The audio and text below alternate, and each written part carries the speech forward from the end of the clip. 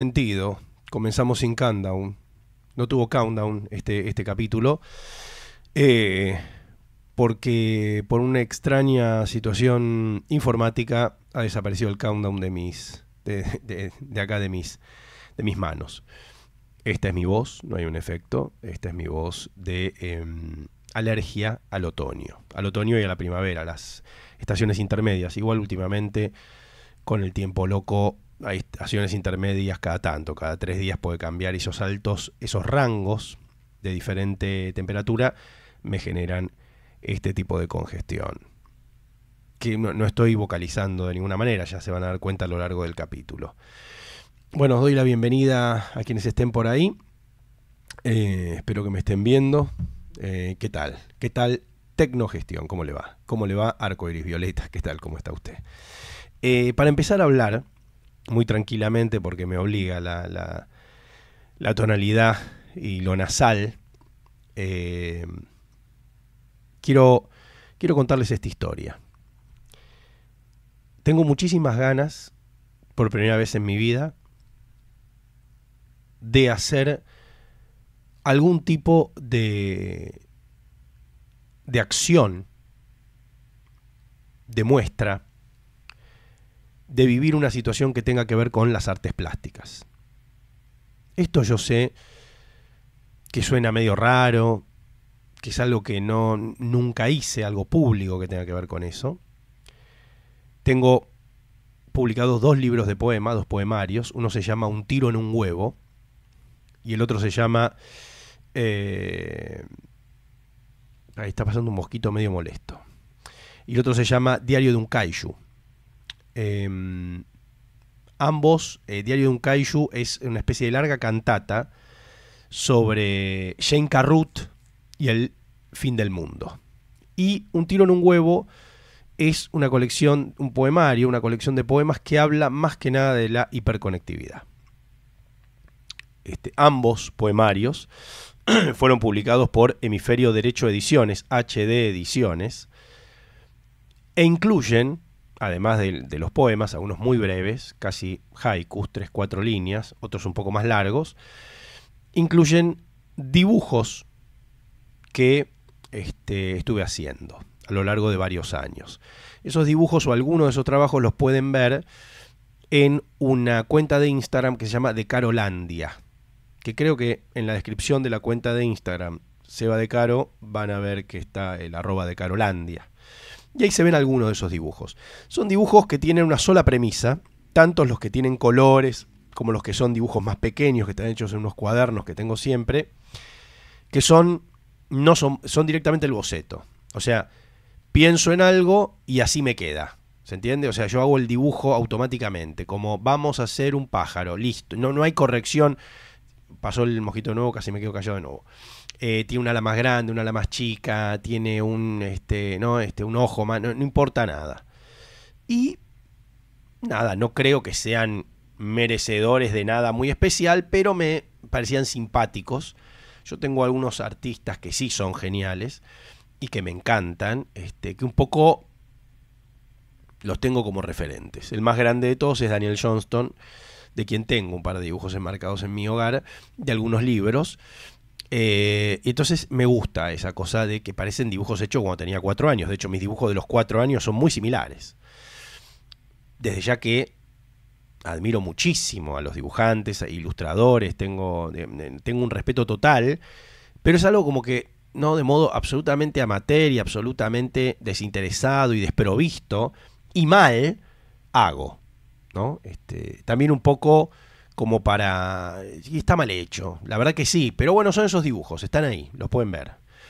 Entonces, me dieron ganas de hacer una exposición, de trasladar el mundo estético ideológico de los poemarios, de un tiro en un huevo y diario de un kaiju, a una versión tridimensional, a una galería de arte, a un espacio de arte una galería de arte que ya funcione y que, perdón, y que sea realmente un espacio de arte.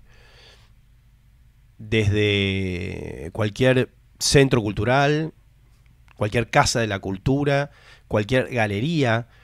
Tengo ganas de hacerlo ahí. Tengo escrito, tengo escrito el guion y la forma de esa muestra que quiero hacer. Tengo diseñado y pensado cuál quiero que sea mi vestuario cada vez que hable de esa muestra. O sea, va a ser integral, 360. Desde que yo lo anuncio, hoy les estoy contando la primicia, porque después les cuento lo que suscitó esta situación. Tengo pensado desde la ropa que voy a usar en cada una de las entrevistas. Vieron que fui a.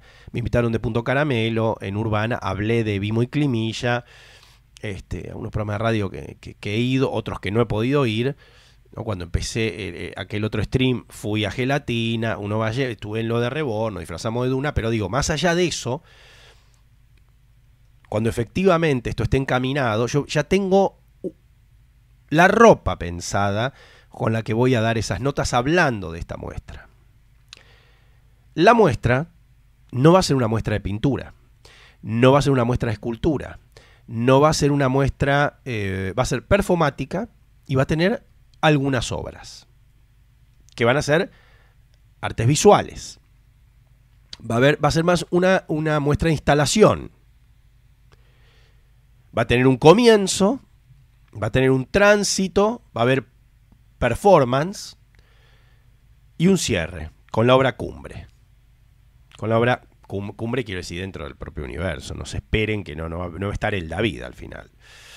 Entonces realmente me copo y me parece que sería un buen momento de comunidad, comunitario para la gente que ve Vimo y Climilla, para la gente que escuchaba Un Mundo Feliz, para la gente que compró los libros, las novelas, para los seguidores del universo de Londa, con eh, La Flor más falsa del mundo, o con La mentira más hermosa, ojalá algún día pueda publicar Parafernalia, que es el tercer libro que completa la trilogía, para los lectores de las nuevas aventuras de un biólogo recién recibido, para los lectores de mi método, esa colección de anécdotas que se iba a llamar originalmente 12 segundos para romper un corazón, pero la editorial, Ediciones B, a quien estoy eternamente agradecido, porque sin Ediciones B nunca hubiera publicado un libro, fue el primero, los que me ofrecieron me dijeron, vení, queremos que hagas un libro.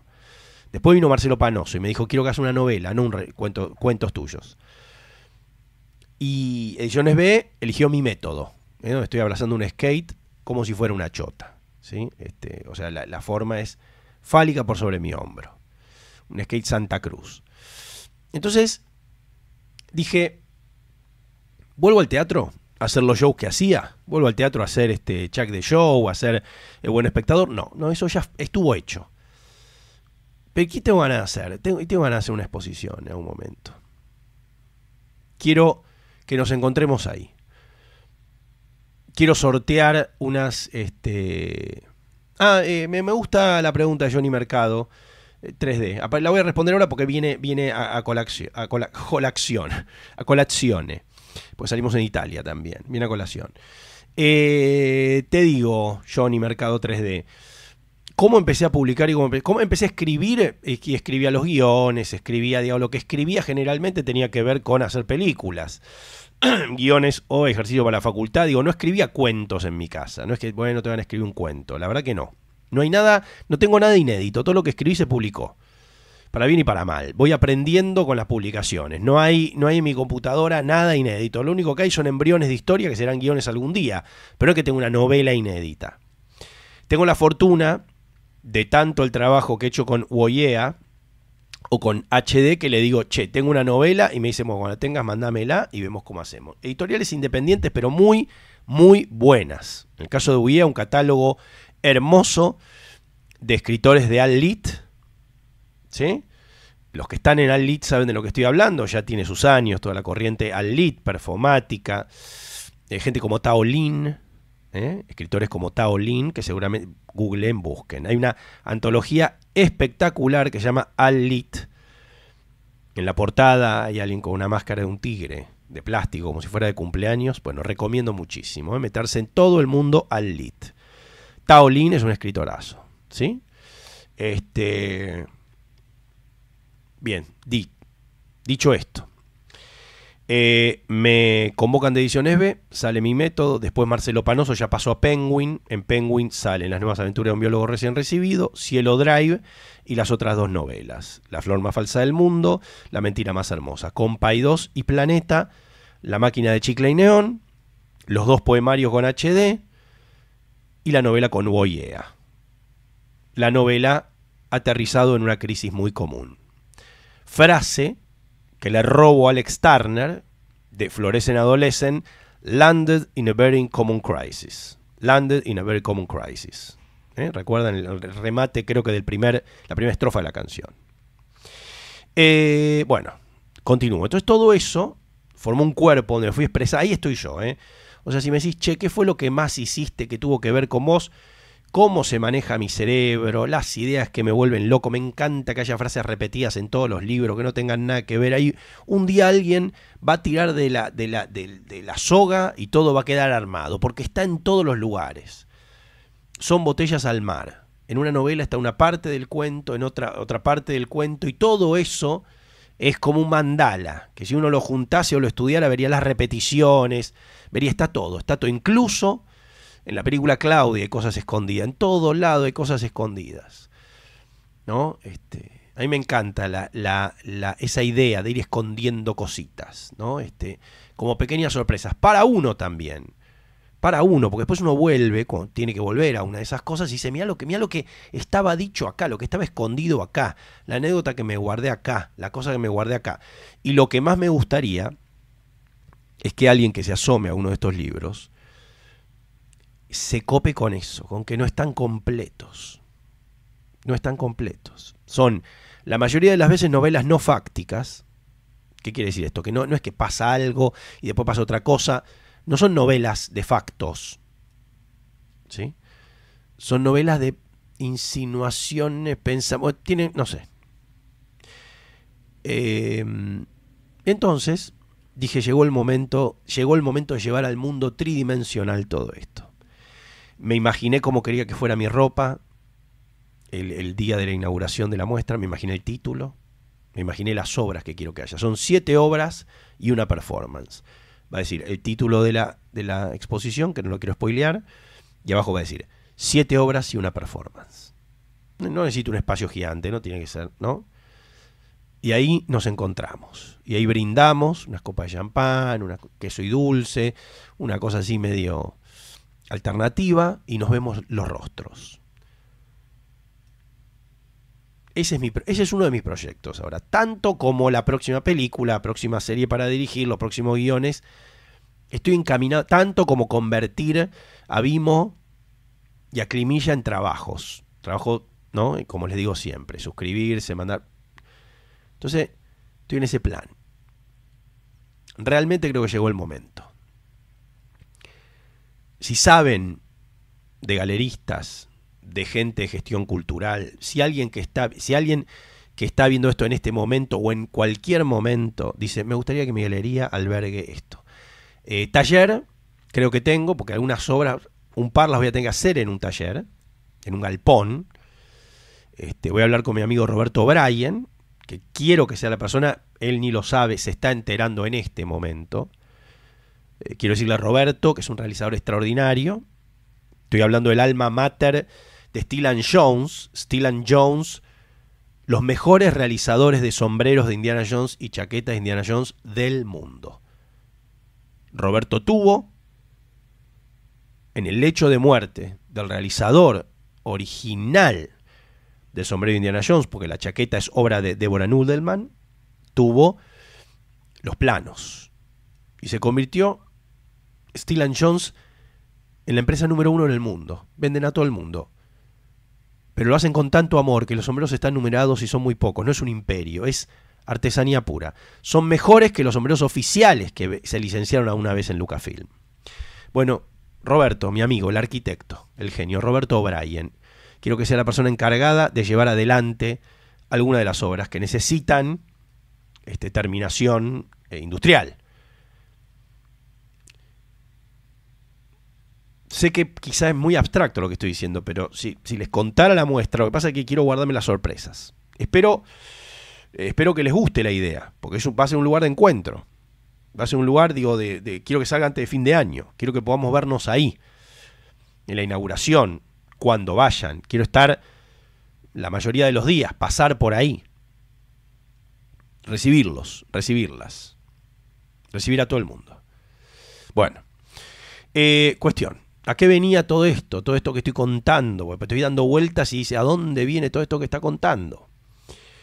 Em, me pongo a estudiar me pongo a sacar libros de la biblioteca para ver justamente algunas cosas que desconozco que tienen que ver con el manejo del arte. Y caigo, y caigo eh, en un libro que tengo sobre Federico Peralta Ramos.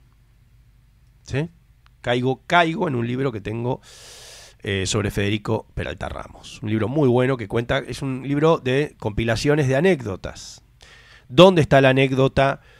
del toro campeón que se compró en la rural sin un peso, dónde está la anécdota de que ganó la beca Guggenheim e invitó a todo el mundo a comer en el alvear y se gastó en una noche toda la plata de la beca y a partir de ahí, y a partir de ahí, la beca anuló del reglamento la obligación de tener que reportar al artista ganador de la beca qué hace con el dinero. Bueno, donde está todo, ¿no? La historia del huevo, ¿sí? Hoy, enfrente de Plaza San Martín, pueden ver cerca del Cábana un huevo, homenaje a aquel huevo de Peralta Ramos. El huevo de Peralta Ramos se tuvo que romper para sacarse del lugar donde fue expuesto. Bueno, todas esas historias están en este libro que se llama Del infinito al bife. Entonces, me dan ganas, después que termino el libro, que lo geo un poco porque me identifico con Federico Peralta Ramos en el sentido de, lo performático, lo, ¿no? que un tipo que aparecía en Tato Bores, eh, un día lo vi cantando El Gusanito de La Vega y después fue reeditado el álbum de La Vega. Bueno, El Coso, la de Frenkel, la película, excelente película documental sobre Federico Peralta Ramos y todo un momento de la Argentina y de la cultura argentina. Eh, extraordinario. Iba a decir justamente, el documental de Frenkel, pueden ver. Entonces, me acuerdo de Peralta Ramos en, Tato Bores, eh, de no entender mucho, obviamente yo un niño. Me acuerdo de la figura de Tato Bores, lo que significaba, ¿no? Este, la figura eh, estético-política de Tato Bores. A veces me dicen, ¿de quién te gusta? Creo una vez me lo preguntaba en un reportaje, ¿de quién te gustaría hacer una biopic? Y dije, de Tato Bores. Si me dan toda la guita eh, acá en Argentina, ya no creo que den ninguna guita, pero si me la dieran y me dicen, che, ¿de quién dirigís? ¿De quién querés dirigir la vida? ¿No? Hacer una película. Eh, Tato Bores. Tato Bores. La, biopic que falta, Tato Bores. Eh, bueno, Tato Bores veía a Federico Peralta Ramos. Y entonces me dan ganas de compartir algo de Federico Peralta Ramos. Todo esto fue en la noche de ayer. Entonces comparto, pongo Federico, hago este ejercicio que si lo hacen les va a dar el mismo resultado. Pongo Federico Peralta Ramos en Google, obras, para que no me aparezca una biografía de Wikipedia y me aparezca algo, ¿sí? Y me aparecen sus obras, sus obras este, que le regalaba, que, que son esos afiches escritos a mano alzada, donde está una frase que se le ocurría, firmado Federico Peralta Ramos y el año. En este caso una frase del 77. Y una de las que veo que está en mejor calidad, la, captura que puede hacer, porque no, no quería, porque eran fotos de baja calidad, no quería que se vea tan pixelado, es la frase, serás lo que deba ser, déjate de joder. Federico Peralta Ramos, 1977. Eh, esa frase, y me parecía que no hacía falta reaclararlo cuando compartiera el post, es una respuesta artística, política en el sentido más puro de la palabra, a la frase del general don José de San Martín, serás lo que debas ser o no serás nada.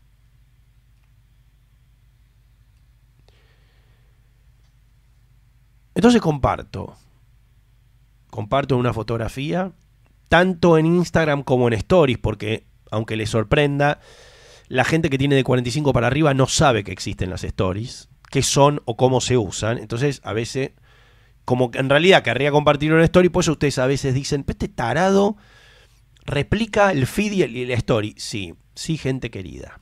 Yo sé que les parece una cosa, ¿no? Gente joven, esto que estoy diciendo les parece una aberración, pero es, hay gente, hay gente que no ha entrado a una story. Y tiene Instagram hace 10 años. ¿Cómo no lo puedo? Hay gente que no ha ingresado a una story. Que no, no es como un universo que desconoce su funcionamiento. Entonces trato de replicar algunas cosas. Replico el este, texto de Peralta Ramos. Me voy a dormir. Temprano.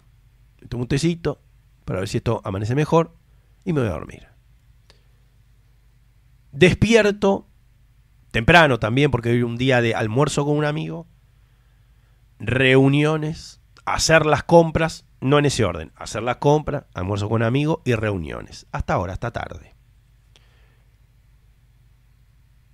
Y cuando me levanto y agarro el teléfono, de rutina, ver si avisé que hoy había Vimo, compartir esas stories, esos shorts nuevos que un poco eh, cuentan que pasó en capítulos anteriores y otro poco.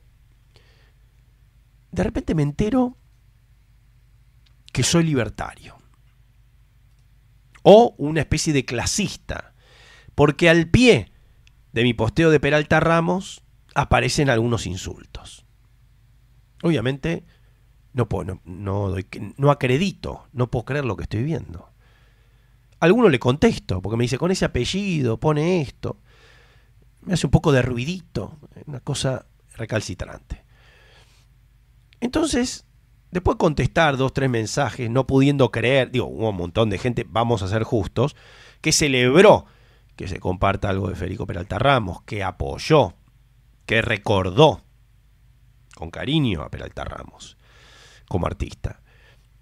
Cuando baja la espuma, me voy a encontrarme con mi amigo al mediodía y pienso, esa frase que yo compartí fue leída en el momento en el que estamos como una provocación política. Y dije, ojo, no está mal eso. Ojo, no está mal eso. Porque primero, que como función artística, bien por Federico Peralta Ramos, que se resignifica y provoca. Segundo, que es lógico que el contexto político, sociopolítico de este momento de la Argentina, del mundo en segundo plano, que estos días, que particularmente este día, que particularmente este día, y hablo de la fecha, del mes y de los acontecimientos de hoy. Yo entiendo que el humus, que, el, que, el, que, el, que, que la atmósfera proponga esa lectura. Esa lectura tenía que ver con la inmovilidad social. Parecía que yo lo que estaba queriendo decir era, si naciste pobre, serás pobre. Si esta es tu situación hoy, es tu situación hoy, no jodas. Parecía que yo estaba compartiendo disciplinamiento.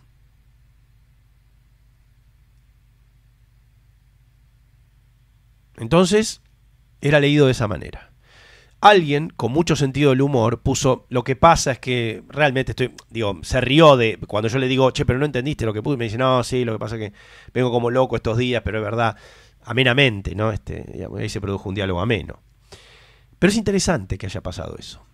Artísticamente es muy interesante que haya pasado eso. Me pareció eh, que es un poco la función del arte.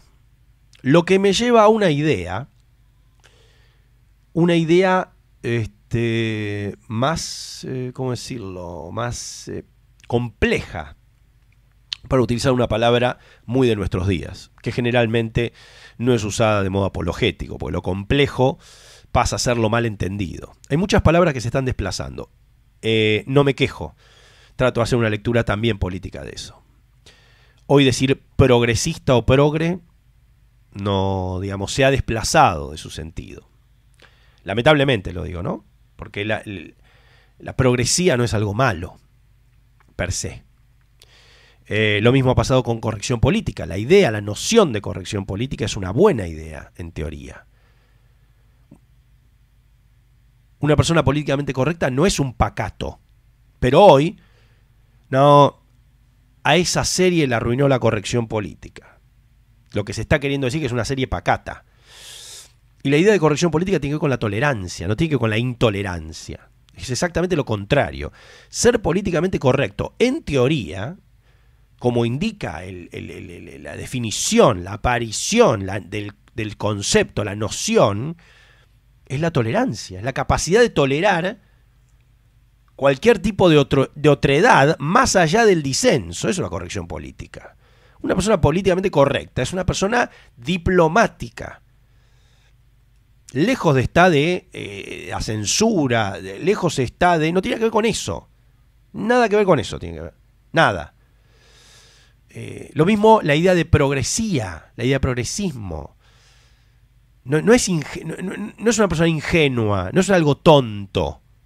Bueno, términos desplazados. ¿sí? Términos desplazados. Y complejo, lo mismo. Hoy te dicen, no, no es complejo eso. Cuando te dicen que es complejo, no, no, nunca va a ser apologético. Siempre entramos en un terreno crítico.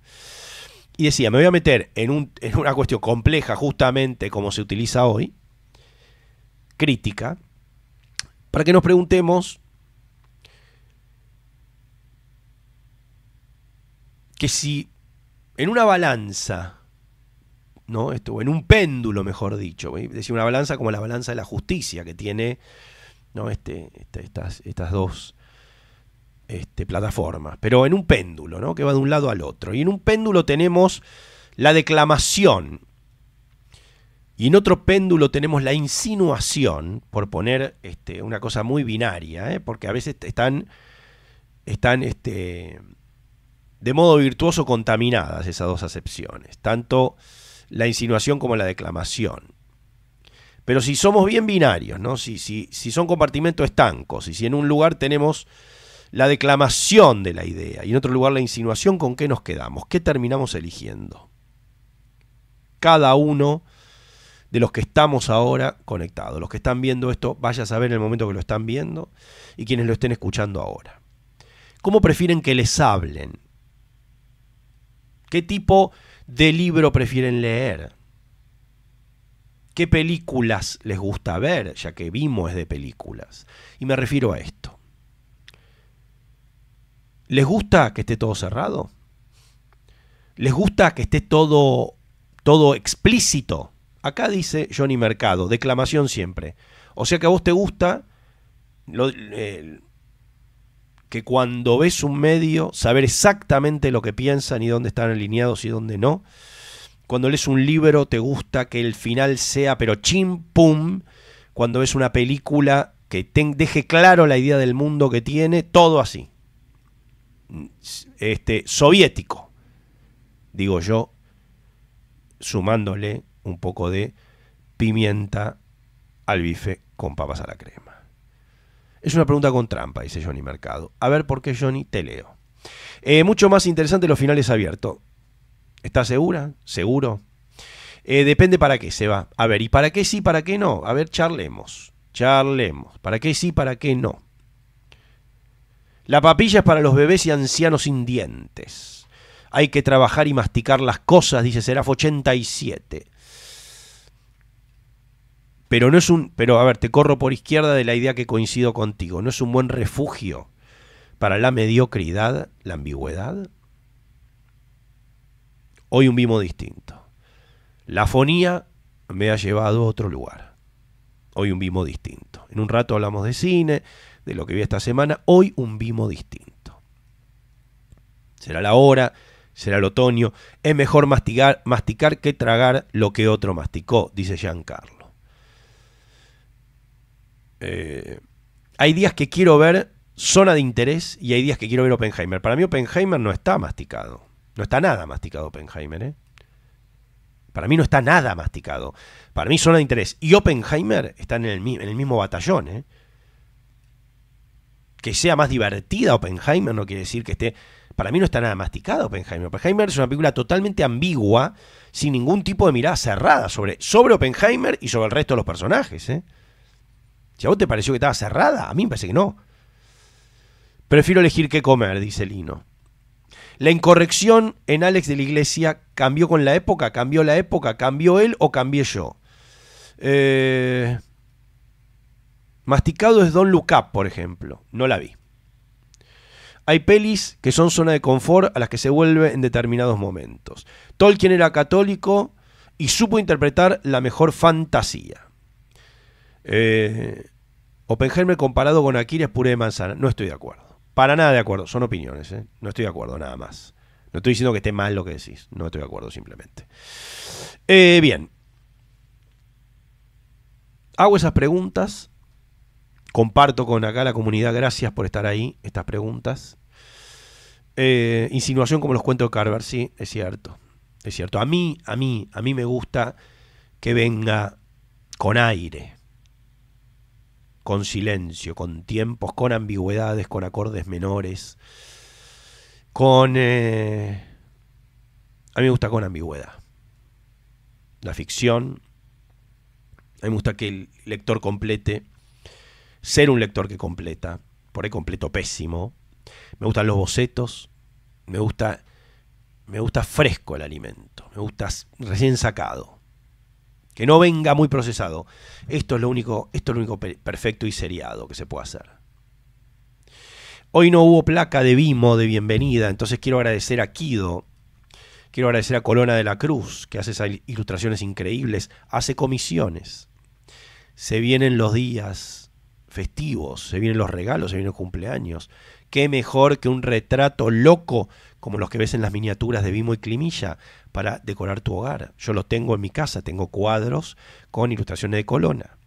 Los diseños, tanto del logo de Climilla como de Vimo, son de Pablo Font, un artista genial que ha hecho la mayoría de las portadas de discos y de libros independientes que han leído y o escuchado.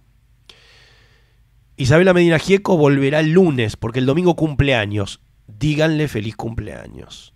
Síganla en Instagram. El domingo cumpleaños van. O sea, cumple el lunes en realidad, pero díganle después de las 12, el 25 cumpleaños, le dicen feliz cumpleaños. ¿Sí? El domingo se, hace el cumpleaños, por eso no viene. De ahí la confusión. Cumple el lunes 25. La saludan, por favor. ¿eh? Compañera de Climilla. Y le reclaman su vuelta, ya que están porque muchos escribieron que no fue lo mismo. Claro que no fue lo mismo, por supuesto. Eh,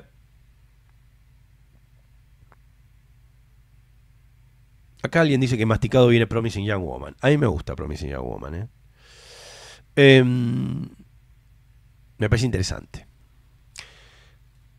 Me gusta que decida quién produce siempre. No me gustaría tener las cosas hechas a medida, a medida de mi gusto. Prefiero probar algo genuino y del punto de vista de quien lo hace y jugármela a que me parezca cualquier cosa. Perfecto. Y, con los medios que les pasa. Con los medios que les pasa. Con los medios que ven. Cómo les hablan. De los que le hablan. A mí me gusta también Digo lo que me gusta a mí, no estoy diciendo que sea lo que va, porque hay gente que le gusta otra cosa y así, así estamos. Hay gente que prefiere que no haya especificidad y un poquito salpiqueando en cada cosa. Yo prefiero la especificidad a fondo.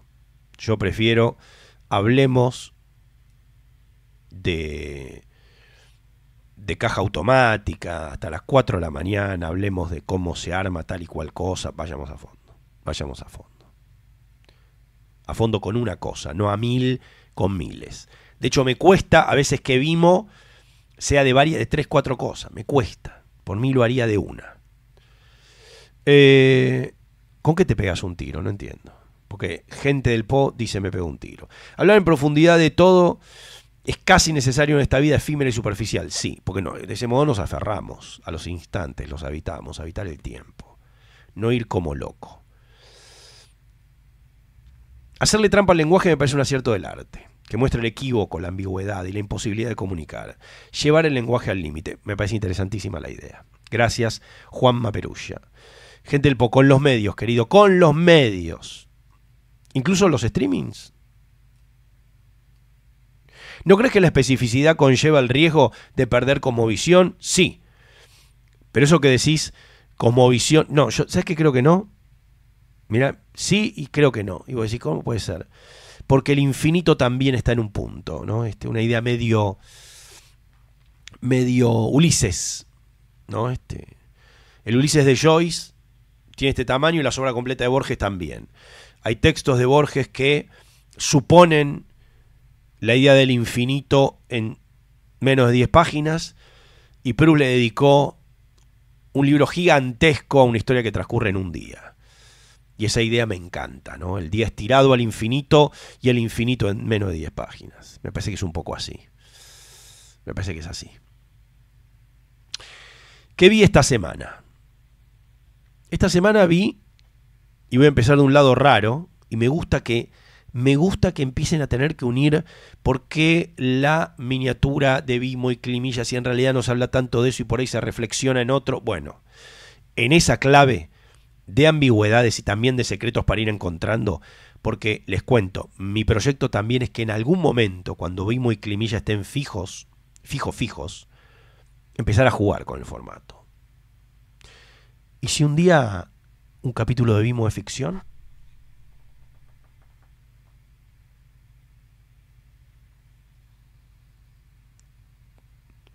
¿Qué onda? ¿Y si un día es ficción?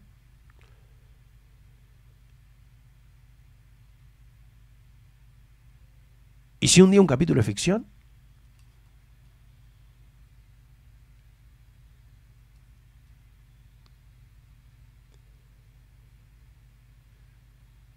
Después del countdown aparece una secuencia de créditos y estamos en una escena.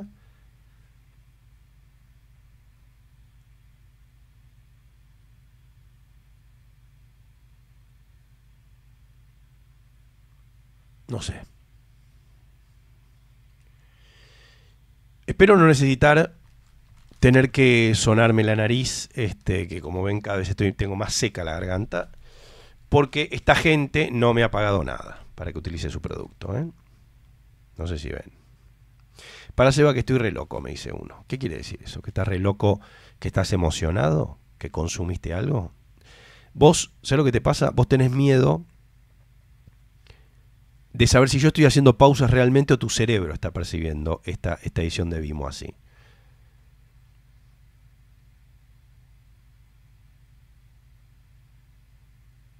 Vos no sabés, ese es el problema.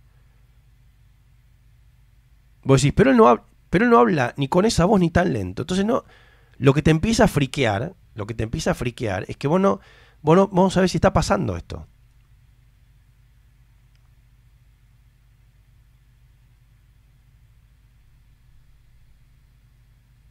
Y las pausas que hago son más cortas.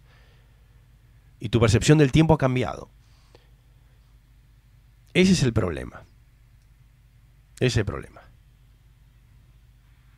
Yo entro, vengo por una autopista que dice Vimo en el piso. Dice Vimo en el piso. Yo vengo, vengo por Vimo. Doblo por Vimo, sigo por Vimo. Voy derecho por Vimo y en un momento, en un momento me mando a la derecha.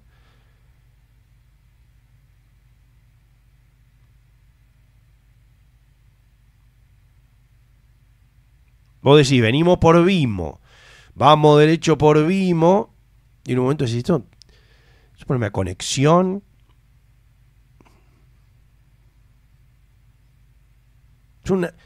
estamos ¿Esto es Man on the Moon?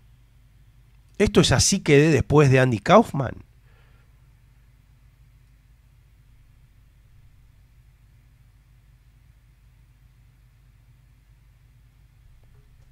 Si, si, el, stream, si charlar, si hablar, es llenar el espacio vacío es inundar a reacciones. Yo debería aparecer ahí en el cuadro donde está Vimo, el logo hecho por Pablo Font. Debería aparecer un cuadro donde yo reacciono ahora mismo al comienzo de esta transmisión.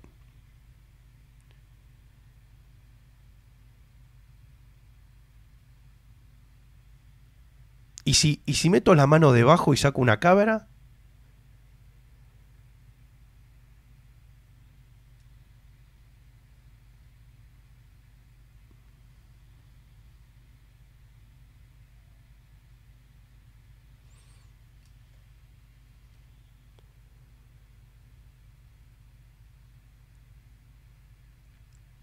Pero bueno, vamos a empezar con lo que vi esta semana. Volvieron los dibujos de X-Men. 97. ¿Por qué? Porque empezaron en el 91 y terminaron en el 96. Este tiempo sin serie animada de X-Men, de esa continuidad mítica del 91, volvió. Alguien pregunta, ¿está bueno? Está buenísimo.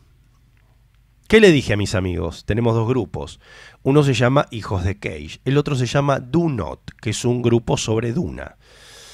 ¿Qué aparecí diciendo? Como un chasqui que trae buenas noticias, cabalgando en la pampa hacia el horizonte. De paso, discúlpenme, voy probando cuál va a ser mi persona cuando los reciba en la muestra de arte. Entonces hoy estoy modo regisser. Este Vimo va a ser conocido para los que están viendo acá con nosotros como modo regisser y ustedes pueden pedir más adelante cuando quieran modo regisser. Pueden pedir tradicional o modo regisser. Che, vinimos con vino, vimo modo regisser. Vinimos con vimo, modo de regisser, dámelo. No modo tradicional. Porque el que de jueves que viene será tradicional, pero este es modo regisser. Y mi modo regisser, el que voy a tener en esa galería futura, con Roberto Bryan en la realización será modo regisser. Eh, puse en esos dos grupos. Volvieron los 90. La cortina, la que queríamos. Newton Brothers. No hay momentos, no hay, no hay ataque o nada woke. Nada las mujeres fuertes como siempre en los X-Men. Titania, Rogue, Jean Grey embarazada. ¿Dónde deja? Murió. Murió el profesor Xavier. ¿Quién está a cargo de los mutantes? Cíclope. Como uno podría suponer, como pasa en la continuidad de las películas. ¿Qué hay? Centinelas. ¿Quién está? Sunspot. Los diseños, los hizo una ilustradora argentina extraordinaria, de apellido Vidal. Excelente todo. Excelente, excelente los diseños, excelente, excelente todo. Realmente. Para aquellos padres nostalgiosos y para que lo vea un chico de 11 años, de 12 años. Para para para para para Eso. Eso. Dos capítulos. Los pueden ver, los van a disfrutar enormemente. ¿Viste la serie anterior? No te va a decepcionar. Lo que He-Man no logró, lo lograron los mutantes. Lo que He-Man no pudo, lo lograron los mutantes. ¿Qué tal están los muñecos de Hasbro? Extraordinarios. Al nivel de la figura que sacó McFarlane del universo ese extraordinarios. Hay dos versiones. Un Wolverine más económico, para que jueguen, ¿eh? para que juegue el público infantil, para que jueguen los chicos, y un uno para el papi. Un Wolverine con la variante de sacarse la máscara, igual, realmente extraordinario. No decepciona, no defrauda. Dos capítulos extraordinarios. Y hablando de los 90, hablando de los 90, no vi el tráiler del Cuervo, porque no me quiero amargar, pero volví a ver El Cuervo, The Crow. Película de Alex Proyas, película protagonizada por Brandon Lee, película que es una de esas películas donde hubo accidentes trágicos en el rodaje. La historia de Eric Draven, El Cuervo, un músico underground, que vengando la muerte de su novia, vuelve, digamos, es asesinado y vuelve para eh, hacer justicia, como el cuervo, ¿no? Eh, supuestamente el accidente fatal que le quitó la vida a Brandon Lee sucedió en el momento que en la película lo matan o lo intentan matar. Este, una bala de salva que salió del arma y que no debía haber salido, un disparo que fue mortal. Casi termina con la, carrera de Alex Proyas. Alex Proyas después dirigió Dark City, que es una película que muchos acá recordarán. Salió ahí nomás de Matrix, una premisa bastante similar. Eh, y realmente lo que extrañé o lo que empecé a pensar, cómo esas adaptaciones de los noventas de historietas como The Crow o Spawn, pongo Spawn mucho más abajo en escalones que El Cuervo. El Cuervo me parece una película con una estética increíble. Spawn no tan bien lograda. Marcaron una época importante en la historia del cine. Pre ola de superhéroes del Marvel Cinematic Universe, ¿no? O del intento de ese levantarse. Cuando todavía los superhéroes eran, vamos a decirlo en criollo, una paja con culpa, ¿no? Una cosa para ocultar una ñoñería, ¿no? Este, no hace tanto que hablar bien de Blade está bien visto. Blade, otra obra maestra. Otra película realmente notable. ¿Sí? Bien. Eh, vi el primer capítulo, cambio de página, vi el primer capítulo de Reina Roja. Reina Roja es una serie que está basada en, perdone, casi me mandó una del señor Miyagi una serie basada en la novela de Juan Gómez Jurado, que sé que va a venir a la Feria del Libro invitado. Eh, te recomiendo la serie, gente del pote, recomiendo la serie animada de Spawn, de HBO. Te recomiendo esa, que es extraordinaria. Em, bueno, Reina Roja les decía. Comienza igual que la novela. Una chica, ¿sí? que se llama Antonia Scott, está dentro de un departamento vacío en un edificio de esos antiguos de Madrid, mirando por la ventana, planeando quitarse la vida. En ese momento comienza a subir la escalera un señor bastante corpulento, que nos damos cuenta rápidamente que es oficial de policía y que la viene a buscar. ¿Por qué? Porque ella tiene un coeficiente intelectual de 240. Es, teóricamente, la persona más inteligente del planeta. Entonces, como pasara con Sherlock Holmes, que era detective, este, detective convocado por Scotland Yard, este, no era, ¿no? Este, una especie de consultor, no, era, no era policía Sherlock Holmes, la policía la utiliza esta chica para los casos que no tienen respuesta. Entonces la tiene que ir a convencer este oficial de policía que la va a buscar de participar de la investigación de un crimen, un crimen rarísimo muy en sintonía con lo que son los crímenes de Seven. La primera persona que vemos es realmente grotesco. No les quiero spoilear qué es lo que se ve porque es una cosa como para sorprenderse. Y así empieza.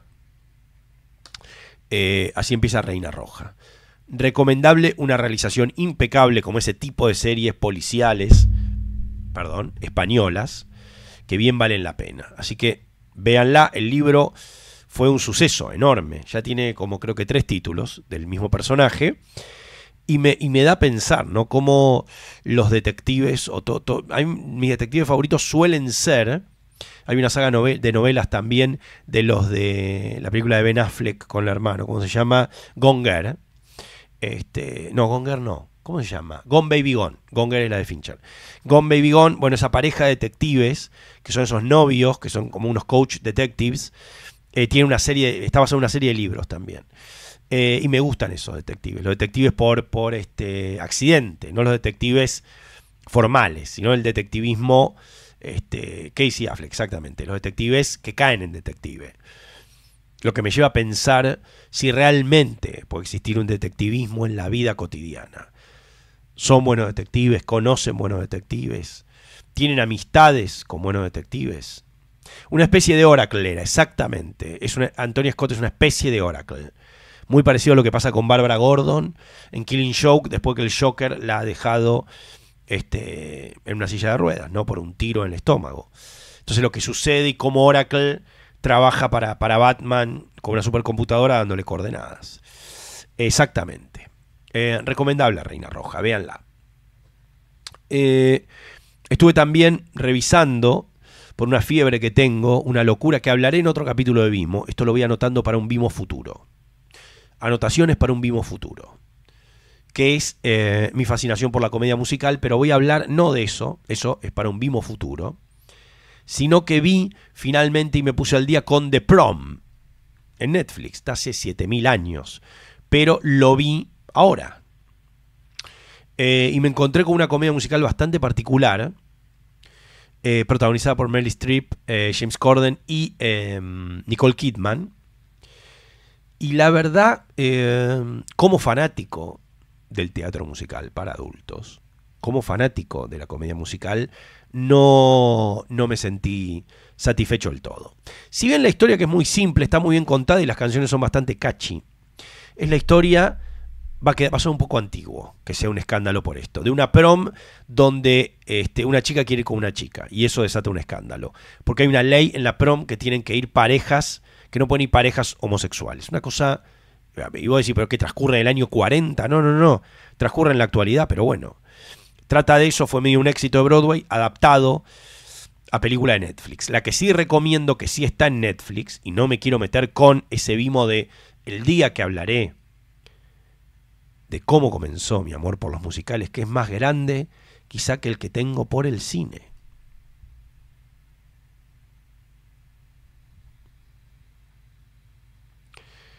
O sea, imagínense lo que va a ser Vimo cuando estrenen Wicked, que se estrena este año.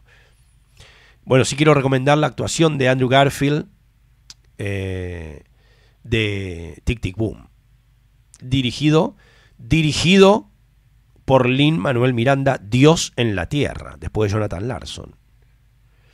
Entonces, ¿qué más que Larson, que modificó para siempre la comedia musical con este espectáculo, proponiéndose como un continuador de la obra de los más grandes, de Sondheim, de todo el mundo, que sea Lin Manuel Miranda el encargado de tomar su legado y hacer tic tic boom.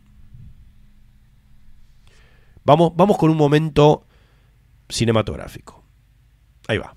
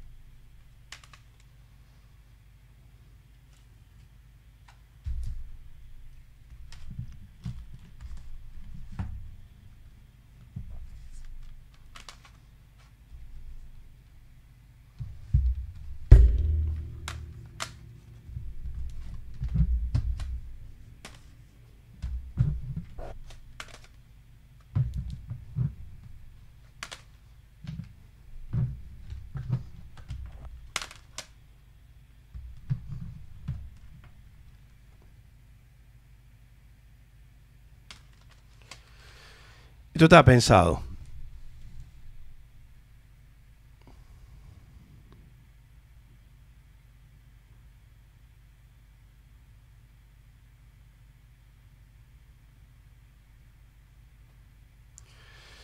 Bueno, a lo mejor no pudieron escuchar la música que iba acá porque este fue un programa estéreo. Estos silencios debían haber sido acompañados por alguna banda de sonido. Pero bueno. Pero vimos hoy, tuvo un montón de mensajes ocultos. Les dejo algunas preguntas. Empecé hablando de algo que quizá tenga que ver con el desarrollo y el final de esta obra. ¿Estuve realmente mal de la garganta o tengo puesto un distorsionador de voz? Y si ahora aprieto un botón y se me escucha normal, ¿qué pasa?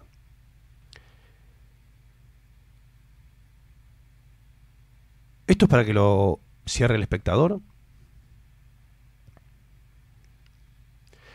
¿De qué película se hablaron? ¿Tienen un mensaje oculto? El día que vuelva a aparecer el buzo blanco, ¿pasará algo loco?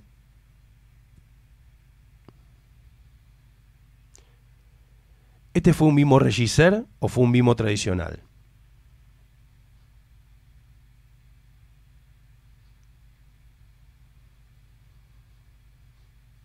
Hoy es un día para prestarle atención al fondo, a la figura, a la figura en el tapiz, al enigma.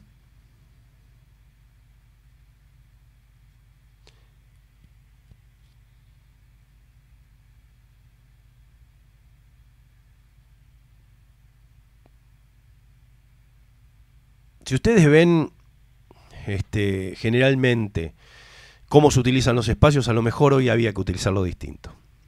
Después, después lo de siempre.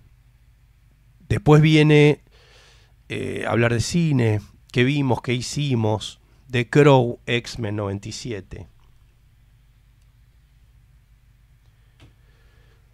¿Qué sé yo, hermano? Lo último. Lo último. Esperando que lo hayan disfrutado. Eh, esperando que hayan, ¿no? Este, que hayan disfrutado esto. En un capítulo me referí a la película El Fugitivo como un título que veo todos los años. No sabía bien buscando qué o qué aparecía.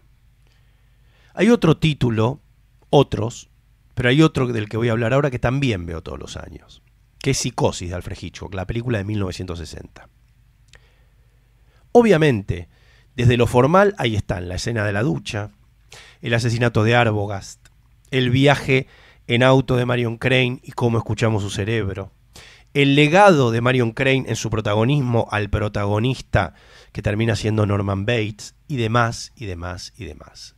Pero hay una escena en particular que me vuelve loco y no es una escena que sea una escena de crimen, no es una escena de terror, es una escena casi de transición, que es la llegada de Marion Crane al Hotel Bates por la noche. Cuando ella llega, está lloviendo y la cámara va en el asiento de atrás del auto, porque la mirada que en ese momento Hitchcock otorga a la película es absolutamente subjetiva. Somos, dicho de otras palabras, Marion Crane. Marion Crane llega y no hay nadie. Toca la bocina, y me encanta ese plano que toca la bocina, porque el rebote del audio nos da una idea de distancia entre, entre la casa Bates y el cuerpo del hotel donde están todas las habitaciones. Habitaciones que van pegadas a una recepción para decirlo de otra manera. Y si uno está viendo la película, de izquierda a derecha de la pantalla. Casa Bates, espacio, caminata, pasillo, recepción, bungalow 1, 2, 3, 4 y 5 creo que tiene. Vuelve a tocar la bocina, entonces baja un joven que con un paraguas le invita a salir del auto y entrar a la recepción. Cuando entra a la recepción, tiene un diálogo, ella pide alojarse, él duda, hay un plano hermoso que él le va a dar una llave y le termina dando la llave número uno. Y pone, este, pone una cara como así. Porque sabe que él tiene en su oficina que queda detrás de la recepción un cuadro que si lo saca va a poder espiar al baño. Entonces le da el cuarto uno y le ofrece tener una cena. Si no comieron, él no comió y cuida a su madre, y ella no comió y está cansada, manejó todo el día. Entonces, detrás de la recepción van a cenar. Piensen esto porque es medio abstracto. Recepción y detrás de la recepción la cena. Y allá, arriba, la casa Bates. Eso en el mundo físico real de existir la casa Bates, la recepción y demás. Recordemos que Hitchcock filmó todo esto en un estudio. Que el interior de la oficina, de la recepción, de donde, de donde van a comer, del baño, son todos decorados, dispersos. No hay realidad física. No es que el decorado entero está hecho el hotel y uno entra y está. No, no, no es real. Por corte entra a un interior. Pero es tan genial Hitchcock que cada vez, cada vez que Norman Bates alude a su madre, su mirada mira al ángulo superior izquierdo de la pantalla. Porque ahí en teoría queda la casa Bates. Esto es de una sutileza genial. Cuando espía finalmente a Marion Crane en la ducha, vuelve a poner el cuadro donde está el orificio por el cual la ha espiado. Y antes de dirigirse a la casa, totalmente enajenado, para terminar de convertirse en su madre, volver y matarla, mira una vez más a ese ángulo de la pantalla, llamado por el fantasma de su madre, en su mente y físicamente embalsamada en la casa solamente 100 veces, promedio después de haber visto esta película, empecé a notar este tipo de sutilezas. Sirve la repetición. Y ahí ya la trama se diluye. Y lo formal pasa a ser trama. Y finalmente, finalmente, el dispositivo formal, que es lo que define a todo relato, cobra el protagonismo merecido. El cine es dispositivo formal. El cine es forma y la forma termina siendo el mejor contenido. Cien veces. ¿Qué habrá en la vez número mil? Que tengan buenas noches. Saluden a Isabel al 25. El lunes por la noche vuelve Climilla. Un Climilla tradicional. No regisser. Espero que hayan disfrutado esta entrega con esta voz distinta, con más preguntas que respuestas, con más planos para volar que aeropuertos, con más bombillas eléctricas que veladores. Buenas noches.